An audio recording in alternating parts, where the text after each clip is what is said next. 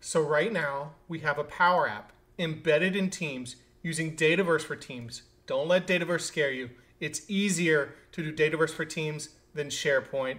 This requires no premium license. Let's get into it and build it.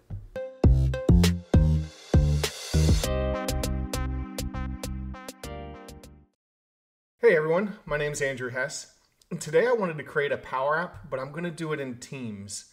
And I wanted to create like a master project list for, you know, maybe a company in a team. So these people will have like your high level PMOs, your project manager advisors, your PMAs, and they're going to manage and look at all of the projects in the company in the big picture. And one reason that I want to do this from Teams is, you know, Teams already comes with a few out of the box power apps. It comes with issues reportings, milestones, a lot of project management tools. So I'm going to create one in a new team. Uh, all I would do is come to Power Apps on the left side and I'm going to say a new app. This is just some ideas, but uh, notice here, you're the first person to create an app on here. We'll need to do some things to uh, set up the environment. All right, so they're going to get things ready. Let's check out the admin center. So if you see here, we have a new environment called Master Project List, and it's of type Microsoft Teams, and it is a Dataverse environment. So it is Dataverse for Teams, and this is all going to be on your Office 365 license model. No premium connectors. You do not have to pay for the extra Power Apps license to use Dataverse for Teams. All right, so now we can come back to Teams, and I can do New App again, and then I can select that team. All right, so you notice that I am Teams, and I created that Power App. Uh, we're going to call this the project list power app. Now the first thing we're going to want to do is use a data source and that data source is going to be Dataverse for Teams.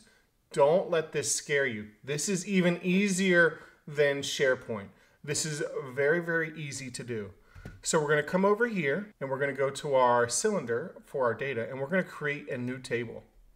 And the table name, we're going to call this the project list. All right, and in our project list, we're gonna have some columns. Now the first one is gonna be name. That's gonna be the name of our project. Uh, next, I'm gonna do a project ID. So this data type is going to be of type auto number, business required, and we'll start with one. Number of digits, we'll, we'll increase it to five. So it's five digits now. Next, we'll do description. We need a description of our project. So new column, it's gonna be rich text, a description. Next, I need some kind of KPI, some kind of key performance indicator. I'm going to say this is red, yellow, green.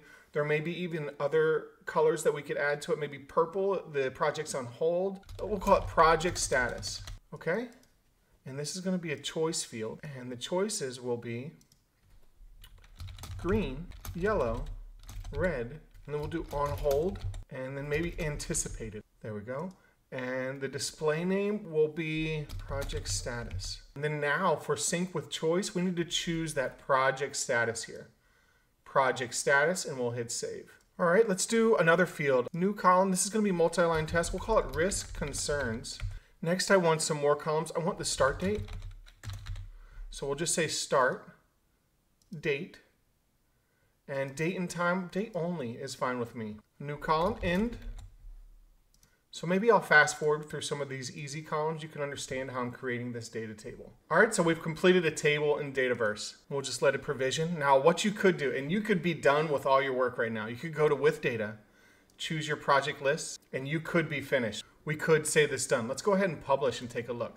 So I'm gonna go ahead and publish it in our team. And we'll put it right here in the general tab. Check out our general channel in the tab here in project lists. We now have a new record. All right, so now I have some data in here. I have four different projects. You notice the auto number that's going in here. If I wanted to edit, I could just come to the edit tool and start editing. If I want to delete, I can go to the delete tool and start deleting. So literally, I have a complete Power App if I wanted to. All right, but I decided I don't want to use that out-of-the-box functionality. I want to create my own app. So I'm going to do new Canvas app, tablet form, and I'm going to create a brand new app under the same name. Okay, so I want to create my own Power App here. In order to do this, I'm going to start with containers. A horizontal container and a vertical container. First, let's resize this. And then we're going to do another container a vertical container, goes inside there. I want it to be the full height. And for each of the containers, for height, I'm gonna do parent.height and parent.width. And this is just gonna resize it for, you know, whatever type of uh, device you're using to resize the Power App so it fits correctly. Parent.width. And I'm gonna do that on all my containers. Right now I only have two. Okay, so in this container, what do I want? I want a nice large view of all my projects. So I want a gallery of my project list. And right now there's only, you know, name and, and the ID in there. I'm gonna make this smaller. Okay, so you can see here I have container one, container two, and gallery one. I'm gonna add another container here. Insert a container. And this one I want to be horizontal. And then I'm gonna move it up, reorder it to the top. And the gallery, I want it to be uh, seven. Let's see, there we go. So I'll have some buttons up here. Oh, minimum height. So here, the minimum height, I'm gonna make it 50. How about that? Or maybe a little less. How about 40? Okay. This gallery, we'll make this 10. There we go. Now I've resized it.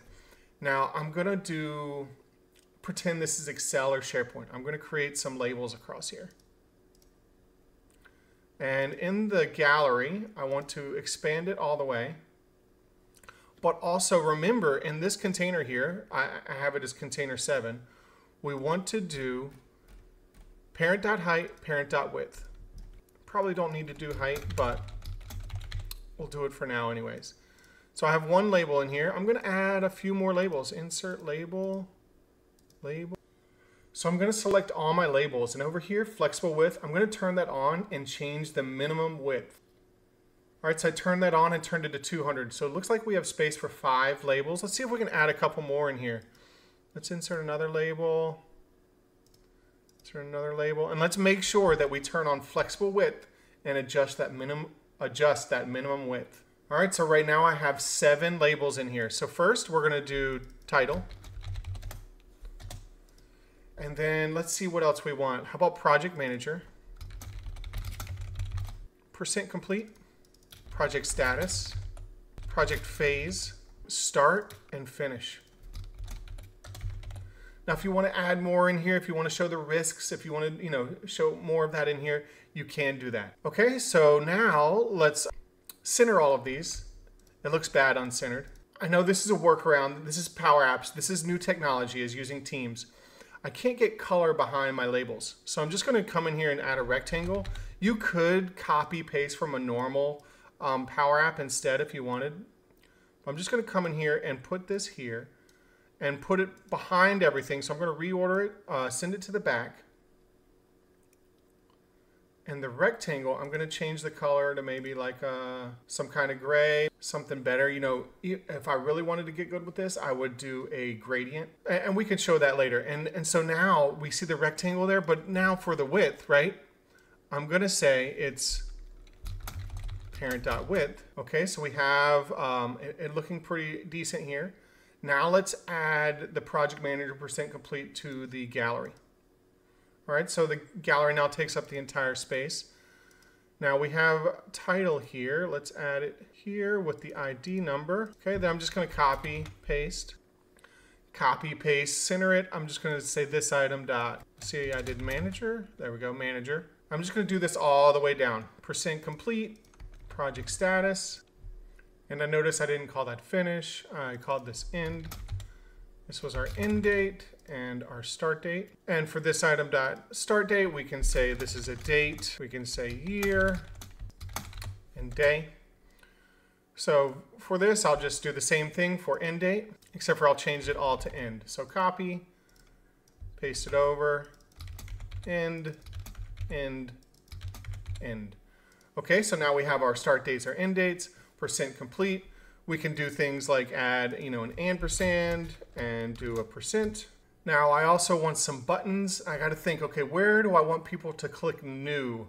Um, new button, I guess, will be at the top here. So we have our container here. We have a gallery. So we're going to insert another container, horizontal container. Oh, not there though. got to make sure that you put your container in the right spot. Then we'll move it to the top. And the minimum height will be 30.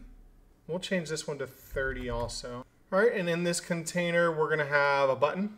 So I'll have a button on this container and it's gonna be the full, once again, we want the full align vertical. I'm not gonna do um, space between. I'll put the button all the way over here and we'll kind of resize it to fit how we like. Now you notice my gray uh, bar here is not in the right place. So we'll come to my rectangle. The Y value will be container 7.y. There we go, perfect. So now that's aligned there. In the end, we'll probably have more things to do, you know, along here. We'll probably have a lot more buttons. Now for the project status, I want to make like a, a, red, yellow, green. I think there was purple and another color. And I want to make a stoplight here. So I'm going to insert an image and I'm going to use an SVG. Now you can find these online. Uh, I can put a link in the description of the uh, in the video. But this is what I did. I went to icons.getbootstrap.com and then I found a circle fill. And so now I took this um, HTML, this SVG, and I'm going to copy and put this into my Power App. All right, so that code that I found, I'm just going to paste it in. Now I did manipulate it a little bit. I I changed the, you know, to single quotes. I added, you know, data image, but I'll cop I'll put this in the properties of the video. Uh, there's other videos out there from other YouTubers who use SVGs and Power Apps. Now what I want to do is I want to do current color, the fill. In between these single quotes, I'm going to put and this item dot project status. All right, so now I have my different colors. Let's add one more in there. Uh, maybe we'll do that in a little bit, but now we have project status. So on hold is a, a black color. That's fine, that looks great to me. So I just want a little bit smaller. I'll change the width to maybe 12. There we go, that looks like it fits for me. And so I'm gonna get rid of this text field. Where's the text field for project status? All right, so now we have a red, yellow, green stoplight. We could make this way cooler. You know, we could make it, you know, gradient. We could make it really great looking. Um, but that's what we have right now. All right, so when I hit play, you'll notice that, you know, things are not lining up. So I'm gonna go rename each one of these labels to help me out. So label here, label, project manager, I'm going to do that all the way across. All right, so now that I've labeled all those across, for each one of my labels here, I'm going to say the X value. Let's see, label proj manager dot X. And for the next one, I'm going to do the X value label complete dot X. All right, so now I've matched the X values to my labels when I press play we can see now that's all lined up. Maybe we want a little space here on the title. Let's go to title. The X value, maybe we'll make it uh, 15. And same with the ID. So that should look good. All right, so we have some space in here. We have a nice looking gallery.